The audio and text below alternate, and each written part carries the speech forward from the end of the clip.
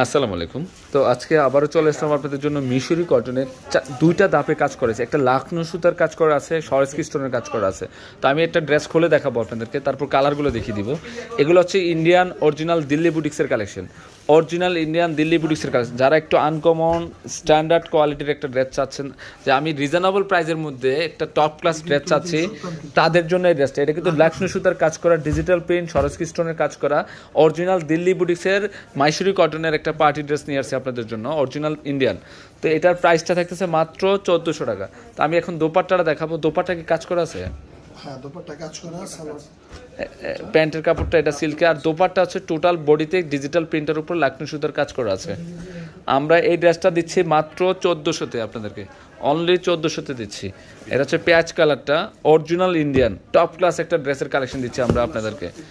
একদম সেরা কালেকশনটা দিয়ে দিলাম আপনাদেরকে মাত্র চোদ্দোশো টাকা। এটা পিচ কালারটা এটা হচ্ছে পিচ কালারটা কালারটা খুব সুন্দর।